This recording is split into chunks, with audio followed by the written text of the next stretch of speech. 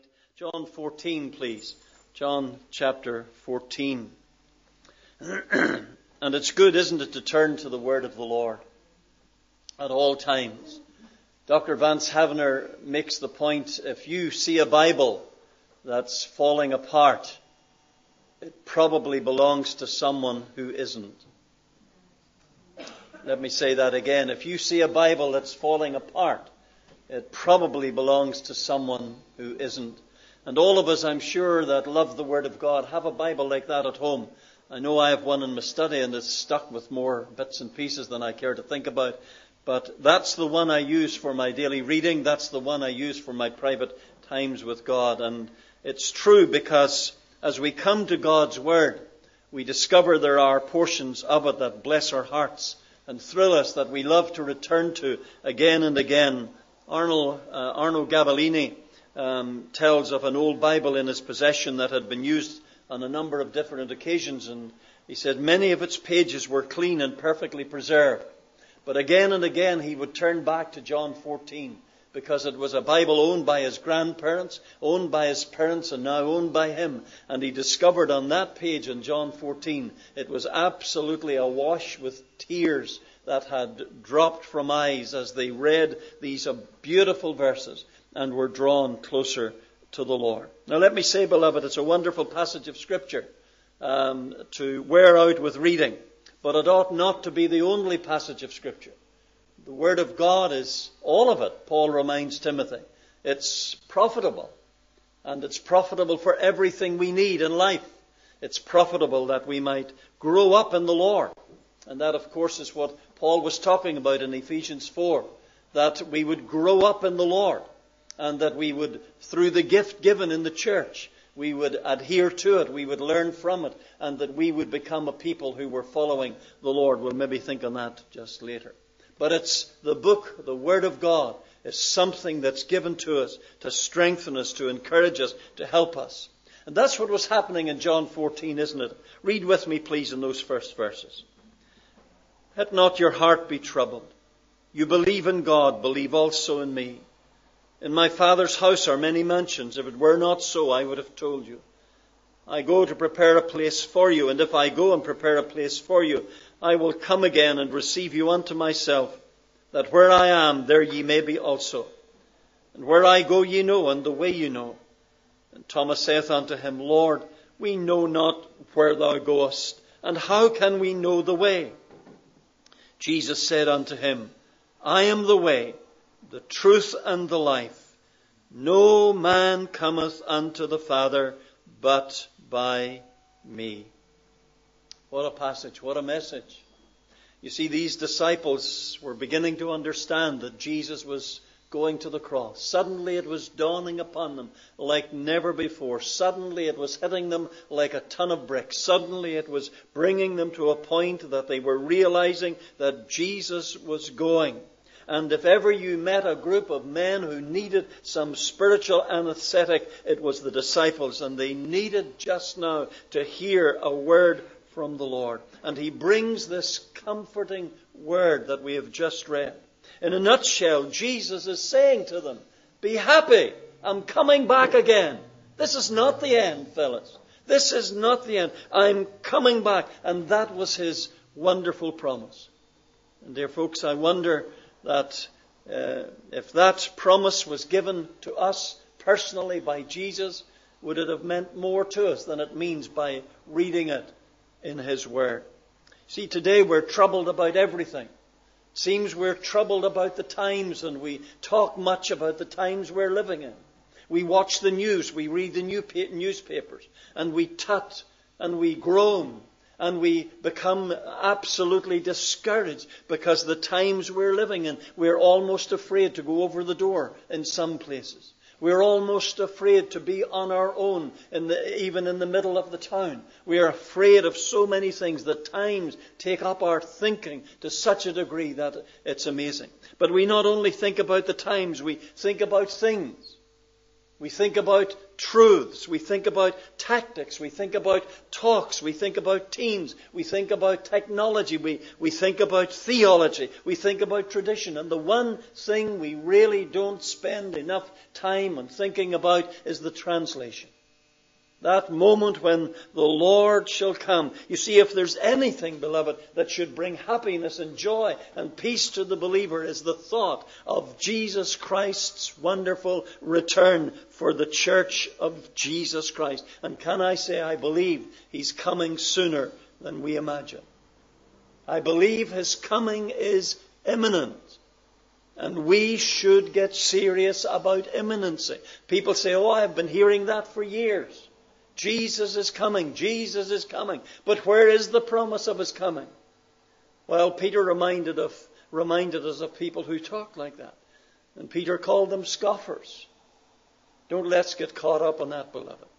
Because you see, Peter also reminds us that one day is with the Lord as a thousand years, and a thousand years as one day. And because it's only a couple of days where God's concerned that Jesus has gone back to heaven, He's not a bit concerned. With us, it's 2,000 years. But where God's concerned, it's only a couple of days since Jesus went back to heaven. But one of these days, He's going to say to His Son, Go, get your bride. Go bring the church home to be with me. And I tell you, that's something that should thrill our very being. That's why Jesus was talking to the disciples the way he was. That's why Jesus was speaking to the disciples with this message. He said, I, am wanting to speak to you fellas. I want to speak to you about a, a precious peace. Hear what I'm saying to you. Let not your heart be troubled. You believe in God, believe also in me. See, he wanted to bring them to a point where no matter what they would face, they would be at peace with God. They would know the peace of God. Turn over with me for a moment or two to Acts chapter 12, please. Acts chapter 12. We all know the story so very well, don't we? Acts chapter 12, and, and we'll read uh, a part of the story just to give us a, an insight again. Acts chapter 12 and verse 1 now, about that time Herod the king stretched forth his hands to vex certain of the church. And he killed James, the brother of John, with the sword. Because he saw it pleased the Jews, he proceeded further to take Peter also. Then were the days of unleavened bread. And when he had apprehended him, he put him in prison and delivered him to four quaternions of soldiers to keep him, intending after Easter to bring him forth to the people. You see, it was his intent Seeing how it pleased the Jews to kill James, he thought, well, I'll bring Peter and I'll kill him also.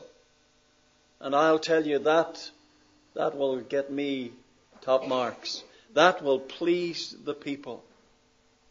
But in verse 5 we read, But Peter therefore was kept in prison.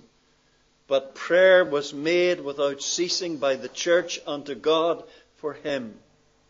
And when Herod would have brought him forth, the same night Peter was sleeping between two soldiers, bound with two chains, and the keepers before the door kept the prison. Here he is, he's about to be beheaded. He's ready for the executioner's block in the morning. And he's lying between two soldiers, chained, and he's pushing out the Zeds. He's sound asleep.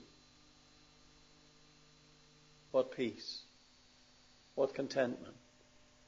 What a joy to know that in every situation the Lord's in control. And we read in verse 7 And behold, an angel of the Lord came upon him, and light shone in the prison, and he smote Peter on the side. Listen to this. And raised him up, saying, Arise up quickly. And his chains fell off from his hands. The angel had to hit him a thump and say, Peter, get up. And Peter rose up quickly. He was startled. He rose up quickly. The chains fell off, but not a soldier moved. The angel said unto him, Gird thyself and bind on thy sandals. Take your time, Peter. Put on your cloak. Tie it around. Put your sandals on, Peter. So he did. And he saith unto him, Cast thy garment about thee and follow me. And he went out and followed him and knew not that it was true um, which was done by the angel, but thought he saw a vision. And when they were past the first and the second guard, they came unto the iron gate that leadeth unto the city, which opened to them of its own accord. You see, everything is in God's control. Now, please do not ask me why James had to die and Peter didn't. I don't have an answer for that. But see what's happening. Peter knows he's ready for the chopping block. But he's lying sound asleep between two soldiers. And the angel comes in and he rises up quickly. The chains fall, fall off and they make their way out and God opens the gate and I have a feeling closed it behind them. And then the angel departs. And he went out and followed him in verse 9 and knew not that it was true which was done by the angel, but thought he saw a vision. And when they were past the first and the second guard, they came to the iron gate that leadeth into the city, which opened to them of its own accord. And they went out and passed on through one street, and immediately the angel departed from him. And when Peter was come to himself, he said, Now I know of a surety that the Lord hath sent his angel, and hath delivered me out of the hand of Herod, and from all the expectation of the people of the Jews. What an amazing moment that was. Surely that must have thrilled his heart. That he could lie asleep, content, knowing that he could lose his head in the morning because he was at peace with God, because he was in that enjoyment of what only God can give. Peace, as we were singing just a few moments ago. How wonderfully God orchestrated everything on Peter's behalf. And it's lovely to follow that story through because you know how that Peter went to John Mark's mother's house. Now, on this occasion, the door was locked against him, but the Lord didn't open the door for him. Peter had to knock the door. Someone had to come and open the door. And here's the truth of that, friends. Here's the purpose behind that. That God does what only God can do, but He expects us to do what we should do. And you see, He comes to that point, uh, Jesus is bringing these men to that point where He wants them to understand what it means to be at peace with God. You can remember Job's background, I'm sure, and I think that's another wonderful uh, example of what it means to trust God, to be at peace with God. And you recall how Job arose that morning. He was a man crowned with blessings. He had everything. One of the richest men, if not the richest man of his day. He had absolutely everything. He arose that morning crowned with blessings. He was a man, the Bible says, who cared for the orphans. He looked after the widows. He um, did so many things. Even before the days of the law, he was a man who was set apart. He was a man who feared God and eschewed evil. And when he got up that morning, like every other morning, he was a very wealthy man. He had everything going for him. But the day wasn't too far through until someone comes knocking at the door. And we read that he loses all his sheep, he loses the camels, he loses the donkeys, he loses every animal he has. And the servant comes in and tells him each time, Job, I and I only am escaped and everything's gone and the servants have been killed. Job, there's nothing left. And in just a few hours into the day, the man who rose that morning crowned with blessings is a man crippled with bankruptcy. But if this, if, as if that wasn't enough, suddenly another knock on the door or a knock on the tent peg, whatever it was. And they came and they said, Job, I'm sorry, we have bad news for you. Job, your ten children were all meeting in your eldest son's home. And Job, there was a hurricane come in, the like of which we have never seen, and hit your house, your son's house. And Job, the house fell, so it must have been some kind of building. The house fell. And Job, I'm sorry but every one of your children are dead. Man who woke that morning crowned with blessing. The day is not too far through until he's a man crippled with bankruptcy and crushed with bereavement. Yet he can crawl into his bed and he can throw himself down on the bed and cry, The Lord gave. The Lord taketh away. Blessed be the name of the Lord. And you remember the story how the devil goes back in before God and says, Okay, I've taken all that he has from him, but let me touch his health and that'll sort him out and he'll curse you to your face. And God says, Okay, you do that, but spare his life. You can't take his life. And the devil came back, friends, from being in the presence of God into Job's backyard and touched him, and from, uh, from the crown of his head to the sole of his feet, he covered him in boils and putrefying sores. By the way, just by way of thought, and, I, am I'm not trying to be rude or arrogant at all, but by way of thought, if the devil could touch Job and in a split second cover him with putrefying sores and boils, could he have touched him again and healed him?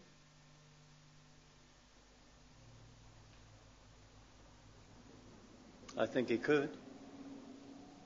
But think about it. And I'm saying that because you look into the book of the Revelation, is it chapter 13 or 14? It's either 13, chapter 13 and verse 14 or 14 verse 13. I can't remember offhand, but uh, in that wonderful text we're told that the devil has power to do miracles, so be careful. Don't just be sucked in by everything. But here he is. He's a man rose that morning crowned with blessings.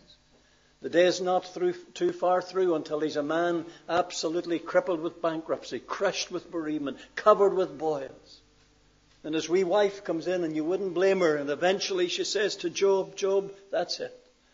I can go no longer. I can do no more. I can't have a Job. Let's just curse God and die. See, she was using the words of the devil, wasn't she? She was using Satan's language. He'll curse you to your face. And that's what she was saying to Job. Let's just curse God and die. Do you know what she was actually saying? She was actually saying there, why don't we make a suicide pact and quit? Finish it all.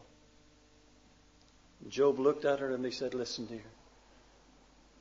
The Lord has given us good things. Do we not receive at the hand of God good? Should we not receive also evil? See, Job didn't know where all this was coming from. He didn't know why it was coming. He didn't know. He couldn't read chapters 1 and 2. He didn't know the end result in chapters 40, chapter 38 through 42. But as far as Job was concerned, he wasn't going to blame God. And in fact, in chapter 13, he said, Even though he slay me, yet will I trust him. You see, dear brothers and sisters, it's possible to come to a point where we have a peace with God that we can face any situation. We can face any problem. We can face any sorrow. We can face any difficulty that comes our way because of the peace that comes from the Lord. Let not your heart be troubled. You believe in God, believe also in me. In verse 27, he would say, My peace I give unto you, not as the world give I unto you. But he's giving them a peace that they've not understood before. And that peace comes through believing on the Lord Jesus Christ. John McFadden tells of his four year old grandson. We happen to have one of those at the moment, and he's an amazing young man. He came on the phone one night and he said, Granda, just come from Sunday school this afternoon. He says, I want to ask you a question. He said, Teacher was telling us how God made everything. And he said, On the way home, I began to wonder, well, if that's so and God made everything, Granda, how did God make himself? He asked mum and dad, and of course they advised that he ring. Next time he said, You're talking to Granda, ask Granda. He'll know. So he just went to the phone and pressed the, the recall button or dial button, whatever it is, these quick dial things, and he asked me there and then. And I was able to try and explain to him in, in John 1 1, in the beginning was the Word, and the Word was with God, and the Word was God, that Jesus was always there. Whenever anything had a beginning that ever began, Jesus was there. He was equally, he was eternally God. In the beginning was the Word, the Logos, the living Word. It wasn't that he became God when he was born. He was always God. He was eternally God. In the beginning was the Word, and the Word was with God. And that word, that phrase with God, means he was face to face with God. He was on a power with God. He was equally God. In the beginning was the Word, and the Word was with God, and the Word was God. He was essentially God. So that satisfied him, and I did it a lot simpler than that, of course, for him. And then he said, Grand, I have another question for you. And my second question is, why did God make ice cream hard? Well, that was an easier one to answer. But I was reading about John McFadden, a, a preacher friend, and his little grandson wanted to put the message on the phone. You know, you lift the phone these days and you're through to whatever 1511 or whatever it is, and you don't know who you're talking to. But we, we like to put a message in ours so that people will know they're getting through to our home. But McFadden, John McFadden's grandson wanted to do this and, and the rehearsals went very smoothly. Mummy and Daddy can't come to the phone right now. If you leave your name and number and a brief message, they'll get back to you as soon as possible. so the day came when the message had to be put on and he asked, the little fellow asked to be left alone. And when they came in and pressed the button to see what message he had put on, if he had put the real message on, the message came across, Mummy and Daddy can't come to the phone right now, but if you leave your name and number and any message you care to record, as soon as Jesus comes, we'll get back to you. Here was a little fellow that had heard the story of Jesus coming again.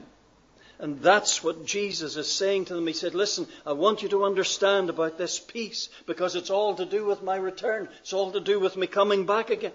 The primitive church thought more about the second coming of Jesus, says Alexander Maclaren, than about the death or about heaven. You see, friends, the early Christians were not looking, as I said last night, for a, a, a, cleft in the ground called a grave, but they were looking for a cleavage in the sky. They were not taken up with the undertaker. They were looking for the upper taker. Corrie ten Boom says we are not a post-war generation, but a pre-peace generation. Jesus Christ is coming again. Make much of it. Have that peace in your heart. Know the joy of this wonderful truth of the one who's speaking. He says you would trust God, trust me in the same way. You see, dear friends, belief, trust can be cold, it can be calculating, it can be intellectual, but real trust is warm and wholehearted. It's personal. And Jesus is saying to his disciples, I'm telling you that I'm God and I want you to trust me as you would trust God. You see, when tragedy strikes, we often say, oh, well, everything will be okay. But that kind of optimism is based just on wishful thinking, isn't it? But you see, here, um, the Lord Jesus is saying, Let not your heart be troubled. See, there's no point in me saying to people, Well, everything will be okay unless I can say to them, let not your heart be troubled. If I can't follow it up with believe in God, trust alone in Jesus Christ. You see, that links sentiment to optimism. That links humanity to deity. That's the only way, beloved, we'll come to a point where we enjoy that peace of God which passeth all understanding. He says, I want to talk to you, men, about a new peace. Then he said to them, I want to talk to you about a new place. Verse 2 In my Father's house are many mansions. If it were not so, I would have told you. I go to prepare a place for you. And by the way, that that word prepare there means to make ready in the Greek language. The Greek scholar A.T. Robertson put it like this. He says, that word likens the word to the Ark of the Covenant going ahead to search out a place of resting. Numbers 10:23. Often in troublesome times, our hearts find great comfort in knowing that this world is not our home. We're just a passing through. Beloved, always remember it. We are not citizens of earth making our way to heaven. We are citizens of heaven, making our way through this waste howling wilderness of a world. J.A. Savage writes, What a scene of surpassing grandeur. Not a solitary Elijah going up in a chariot of fire, but untold millions of glorified saints mounting upwards in the power of God, clad with the radiance of heaven itself, and doubtless filling its vault with their loud hallelujahs. How paltry and insignificant is all that man calls great and grand in the pageantry of this world, compared with the splendor of this heavenly scene, of this heavenly home. Who would not wish to be there? End of quote. He says, I'm going to prepare a new place for you. You know what? Jesus called that place his Father's house. And I think that's lovely. What a delightfully warm phrase that is. The Old Testament has little to say about heaven or paradise, some sketches here and there. Abram's bosom conveys some slight understanding of of what heaven is like. But it's not until Jesus come and, comes and begins to speak with first-hand knowledge that we really get a glimpse into our eternal home. I remember when I first left home, and I was a young man of 19, and that's oh, so many years ago. But I was saved at 16, and I was a baker and confectioner, as I shared with you last night.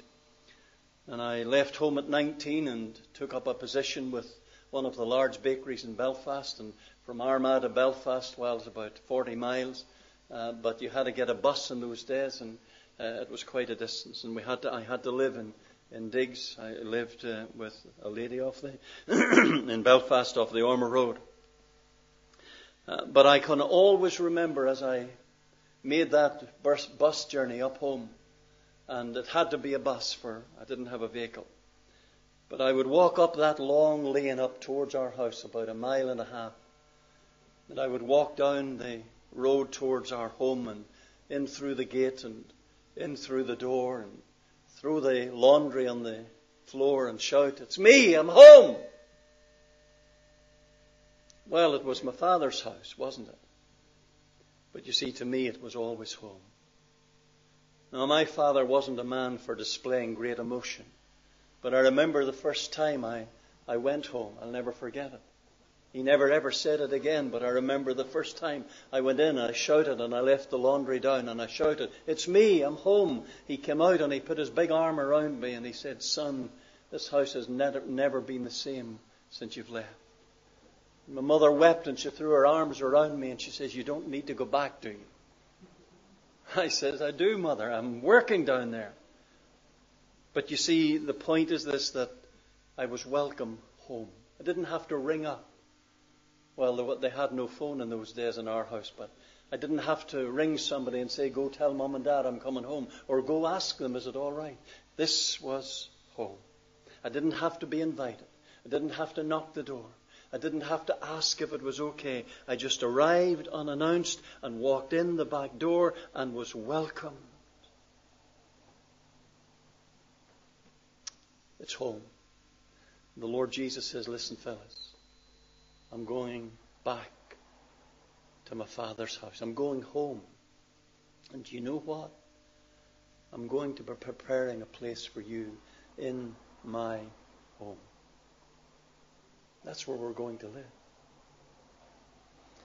And you see, the very phrase, my father's house, just hits me between the eyes and reminds me it's a localized place. It is somewhere. It's not some mythical place, but it's a localized place. It's somewhere and it's substantial.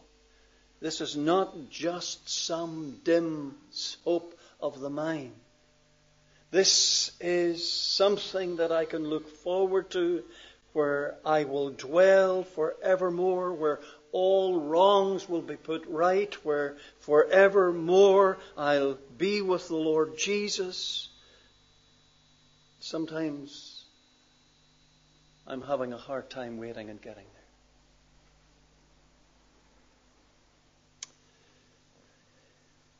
there. I love the story of the, we call it the prodigal son. Luke, Luke 15. I often prefer to think about it as the story of the father and two delinquent sons. But I often think about that story that when the prodigal, as we call him, went off, the father didn't send the older brother out after him in a month or two and say, Go find your brother. Bring some money with him in case he needs help. He didn't say to the mule traders or the camel trainer, trains that came by, Listen, my son's away down in the far country. If you meet him, would you give him a few shillings and I'll pay you when you come round? A few shekels. He didn't even go looking for him himself. You see, the son you remember the story, it came to a point where he, he said, There's food enough and to spare, even for the servants. And I'm paraphrasing a little bit. He said, Even for those that work for my father, there's enough and to spare. The table's spread, and I'm sitting here eating pig's swill. I'll arise and go to my father and say, and you know the, the background. The father's watching, and he sees him away off down the road. And the father, the old man, picks up his garment because his garment would be a flowing gown to the ankles. And he picks up his garments and he pulls the garment up and his ankles are seen and he begins to run through the village to meet his son. And that, of course, is bringing great shame on the old man. The son has absolutely disgraced him. But he's been watching for the son and he picks up the garments and takes shame and disgrace on himself and runs towards the son. And when he meets him outside the village or outside the town, he embraces him and showers kisses upon him and forgives him, shows a father's love and forgiveness. And you know what? The son never did have to say, Father, would you Forgive me. I, I want you to be, I, I want you to, I, I want to be one of your hired servants. He never did have to get to that part of the statement. He had it all organized. But he never had to say, I want to be one of your, your hired servants. You see, that embrace of forgiveness and love said it all. He was home. And when the father got him up to the door, he said to the servants, Bring all that's needed, get him cleaned up, put a, a, gown on him, and put ring on his finger and shoes on his feet. I want you to know that he's home, and he's home to stay, and he's forgiven absolutely because this is his home. It's my home, but because he's mine, he's home.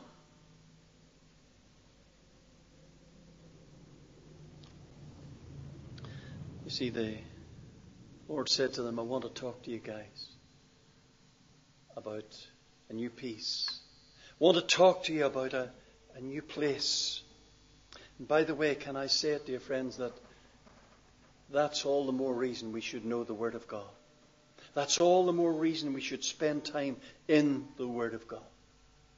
Maybe you're saying to me, well, that's okay for you, but I'm, I'm just not. Um, as able as some to read the Word of God and understand it. Let me do something for you. Just look with me at Psalm 19, please. Psalm 19 for a moment or two. And in Psalm 19, you know, there are two beautiful revelations of God. In this, one in the uh, revelation of God in the skies. You remember that?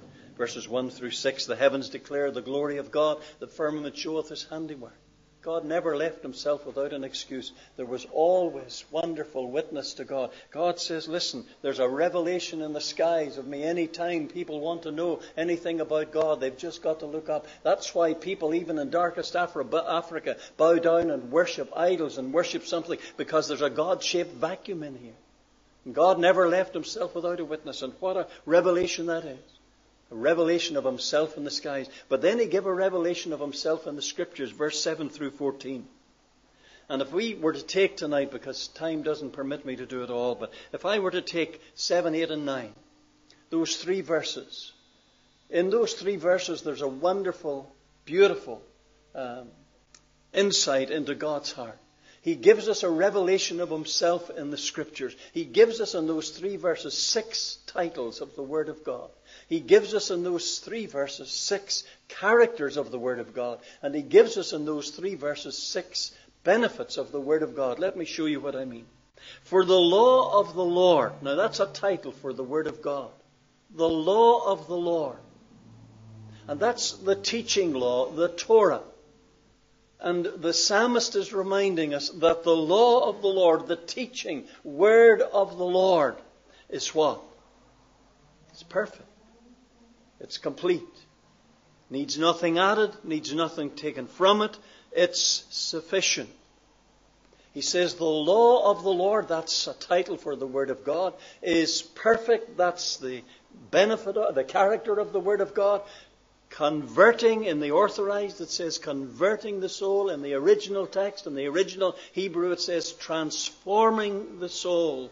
That's the benefit of the word of god. That's the power of the word of god because the word of god alone can transform the soul. Nobody ever gets saved apart from the word of god.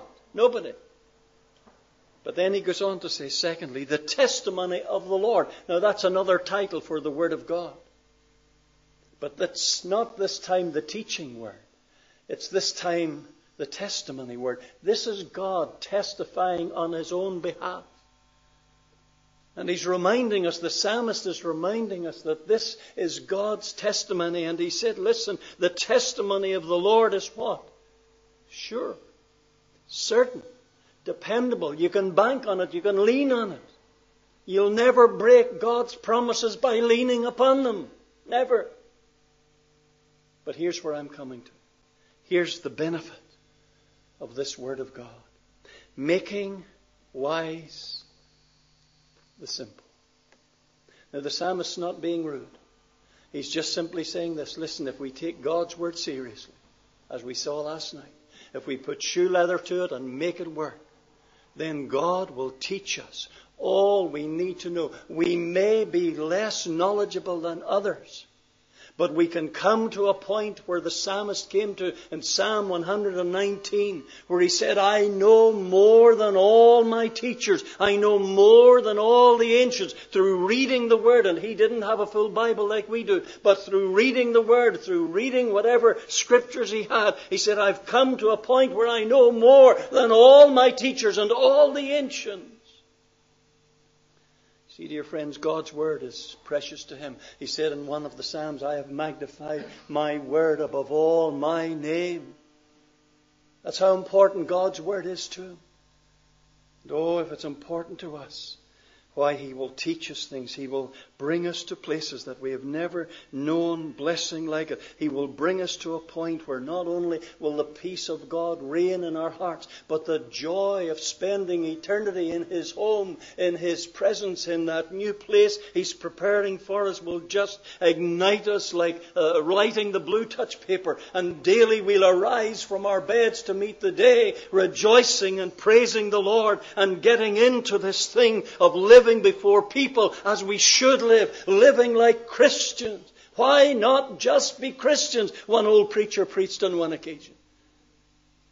That's what God wants us to be. He says, Listen, fellas, I want to talk to you about a new peace. I want to talk to you about a new place. But he said, finally, I want to talk to you about a new pledge. A new pledge. See, this was a precious piece he was talking about. It was a prepared place he was talking about. And it was a powerful pledge. If I go and prepare a place for you, I will come again and receive you unto myself, that where I am, there you may be also. Listen, folks, the sovereign God the Son of God, the Spirit of God, have built an entire eschatology around those words, I will come again. For years they had known Jesus would come again, but it hadn't sunk in. How did they know that? Why, Luke 1, as we were reading last night, 30 through 33. They knew that Jesus would come again, but oh, they didn't know that he would come in this manner, that he would come for them.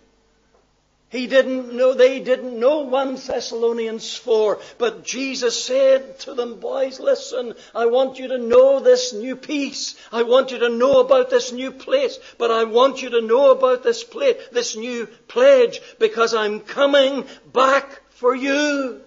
You see, it was a promise coming. If I go, I will come again.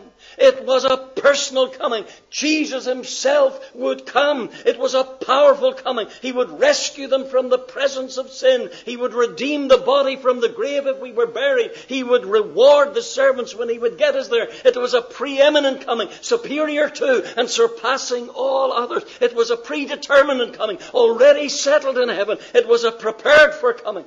Are you ready, dear Christian, for that coming? Excuse me getting excited. As I said last evening, we love to say we are strong premillennial. We love to say that we wouldn't change our view, but has that truth changed us? Am I ready?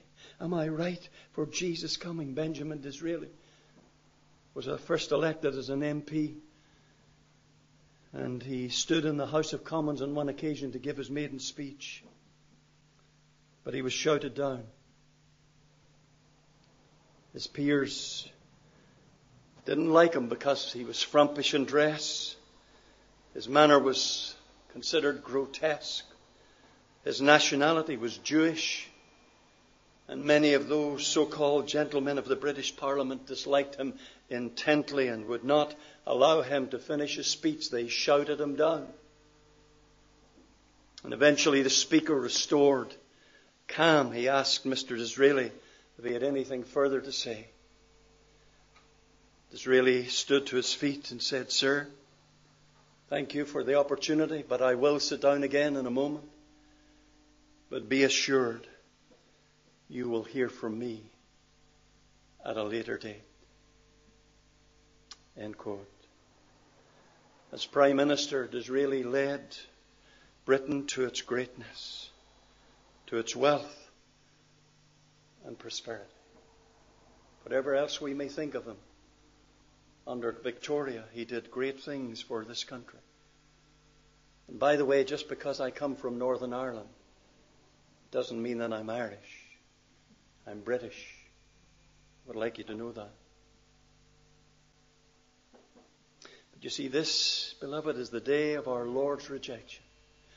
This is the day that we remember Judas betrayed him, Peter denied him, his disciples fled from him, the Jews mocked him, the Romans crucified him, and to this day the world at large has little use for the one we call Jesus Christ, and he has gone back to heaven. But he's saying to this world, you will hear from me again. I will come again. And the last book of the Bible closes that wonderful book, shouting down the ages, surely I will come quickly. And it's the saved of the earth who respond by saying, even so come, Lord Jesus.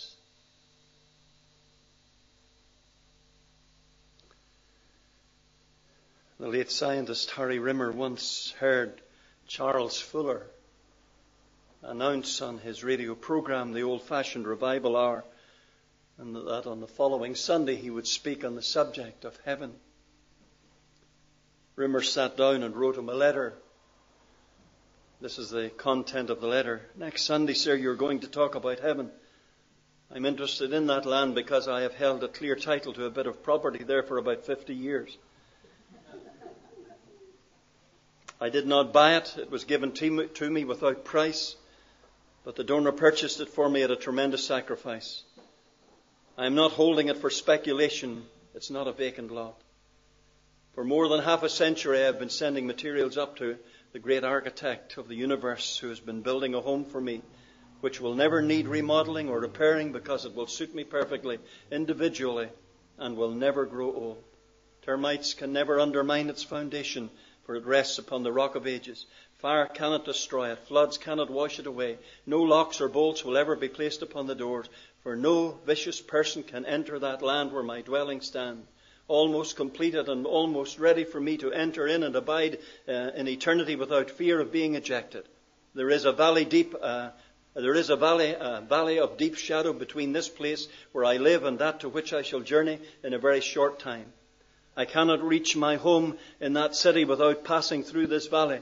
But I am not afraid because the best friend I ever had went through that same valley long ago and has driven all away and driven away all its gloom. He has stuck with me through thick and thin since we first became acquainted 50 years ago. I own his promise in printed form, never to, to forsake me or to leave me alone. He will be with me when I walk through the valley of the shadow, and I shall not lose my way when he's with me. I hope to hear your sermon in heaven next Sunday, but I have no assurance I shall be able to do so. My ticket to heaven has no date marked for the journey, no return coupon, no permit for baggage. But yes, I'm ready to go. And I may not be here while you're talking next Sunday evening, but I will meet you there someday. End quote. Harry Rimmer moved to his new abode two days later. What a wonderful place Jesus is preparing. What a wonderful peace he gives us while we're waiting. But what a wonderful pledge. He will come again. I'm waiting for the coming of the bridegroom in the air. I'm longing for the, the gathering of the ransomed over there.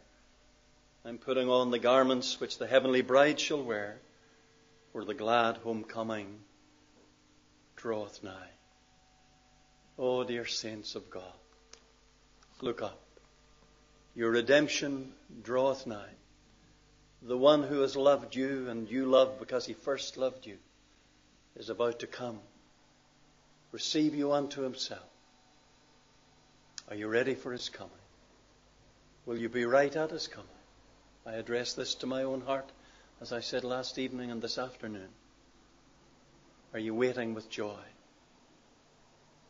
Will your heart rejoice when you see him in the air? Will your soul leap for joy? And will your eternal bliss be his presence over there? Let's pray together. Thank you, Lord. We praise you, Lord. We honor you. We glorify you. We magnify your name. We love you, Jesus, because you first loved us. And what a blessing you've given us in giving to us a peace that no man can steal from us. Preparing for us a place in which we will live for all eternity. And giving us a promise, a pledge that will never be broken because it was sealed with the blood of Jesus Christ. Father, we pray you'll take us from this place tonight rejoicing prepared to worship you tomorrow as you allow. And may our worship never be the same again. May we worship you in spirit and in truth, in the beauty of holiness, with clean hands and a pure heart. And should you come for us before that morning dawns and the shadows flee away, may we truly be ready to meet you. Thank you for the dear people that have gathered with us. Thank you, Lord, for the blessing of serving them in ministry. We ask, Lord, that your word will do its own work in every heart for Jesus' sake. Amen.